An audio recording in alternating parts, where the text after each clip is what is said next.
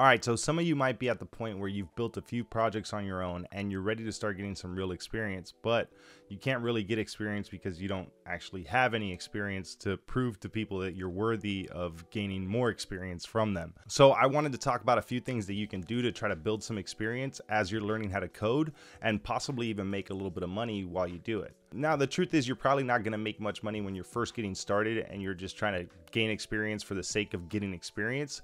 But it is nice that a few of these methods that I'm going to mention are capable of making you a little bit of money when you're first getting started. The first method of gaining experience that I would recommend for anyone who's learning how to code and has just built a few projects on their own and is ready to start tackling some real tasks is open source projects and open source software. Open source software is software that's developed by a community of developers that contribute to these projects and you can contribute to any open source project that you'd like. Now as a beginner you might not know what open source projects you can contribute to. Honestly the easiest thing you can do is just Google search good open source projects for beginners.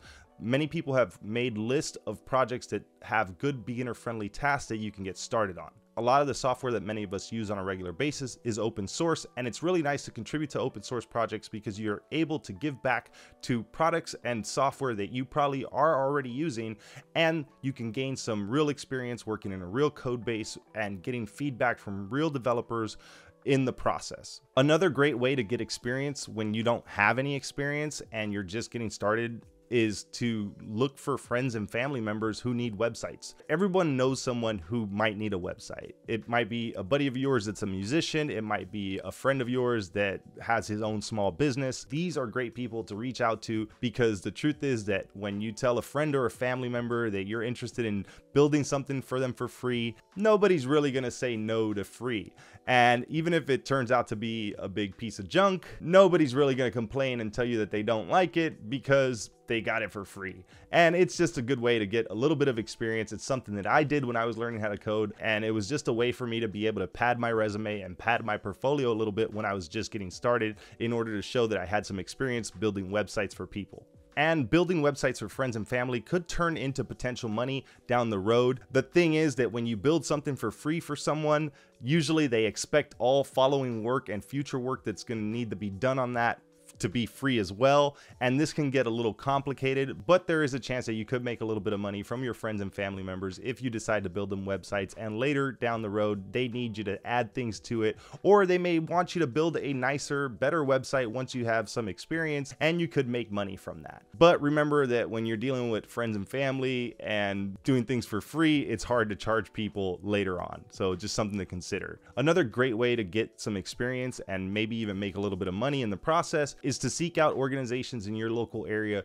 that you would like to do something nice for. You know, nonprofit businesses and local organizations such as your church or youth centers or places that might need a website that are doing nice things in your neighborhood that you want to kind of give back and show some support to while being able to get a little bit of experience in the process. Another good way to potentially get some experience is to attend meetups and hackathons. If you attend a hackathon and you contribute to a project that's built over a weekend, you can definitely put that on your resume. Also, if you go to meetups, you'll meet a lot of local developers who might be able to help you look for work or tell you about positions or possible job opportunities in your area. And you might meet some freelancers in your area who have too much work on their hands and you might be able to help them out with that a good way to find meetups is to use the Meetup app and try to look for local developer groups in your area. You can also check out Facebook groups if you're trying to find local meetups in your area as well. If you're in a big city, it might be easy for you to find some of these meetups and these hackathons. If not, just turn to the internet and see what you can find. Sometimes you can find online hackathons, but usually local is better because many times those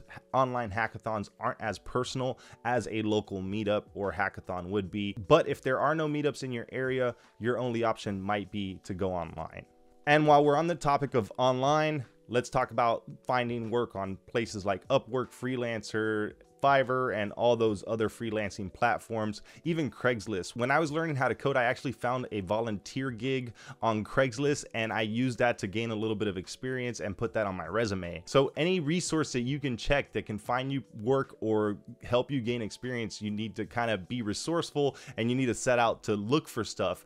And many of these online freelancing platforms can get you work, but you have to consider that when you're learning how to code and you don't have a lot of experience, it's going to be really hard to sell yourself to a client who is looking for someone who probably has experience. So what will end up happening is that you will likely sell your services for a much cheaper price than everyone else in order to get a job or do free work again, like I mentioned earlier.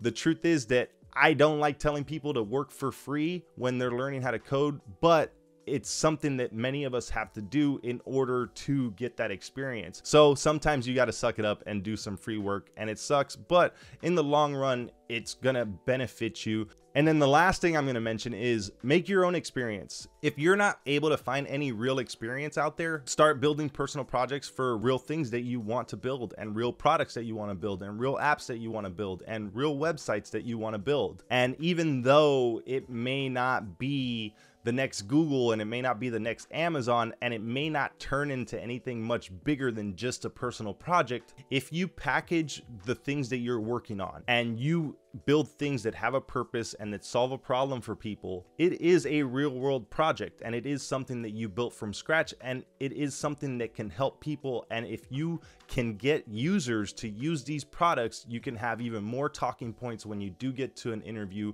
and you can mention all these things on your resume as projects and things that you have worked on. At the end of the day, you got to do what you got to do in order to get your experience and you got to do what you got to do in order to get that first job. And if you can't find any work to get real experience from, go make your own. All right, I think that's all I got to say here. If you've got any other ways of getting experience while you're learning how to code and potentially even making a little bit of money, let me know in the comments. And if you found this video helpful, make sure you hit that like button. I'll see you next time.